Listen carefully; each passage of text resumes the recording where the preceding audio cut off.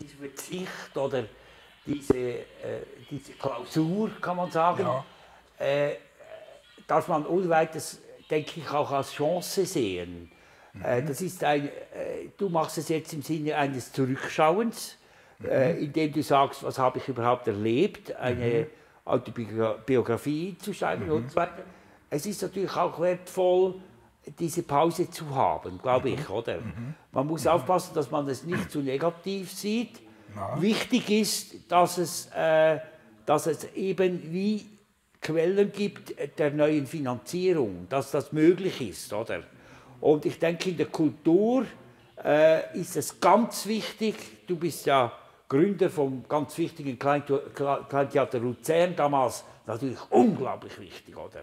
Jetzt ist es eines der vielen geworden, aber damals war es eine, eine total innovative, verrückte Geschichte, äh, die nachgemacht werden konnte. Und eine solche Geschichte ist im Moment wirklich bedroht, dass sie äh, versinken könnte. Und da glaube ich nicht, dass die unbedingt jetzt sofort wieder Auftritte haben müssen, sondern es tut diese Institution, wahrscheinlich gut, dass sie ein bisschen nachdenken können, aber sie müssen finanziert sein, oder? Es muss eine Grundfinanzierung dieser Überbrückung sein und da können wir ja, weiß Gott, äh, nicht sagen, dass wir das Geld nicht haben, oder? Das äh, ist ja, äh, äh, äh, also unser Finanzminister hat da kurz ist er verzweifelt, oder?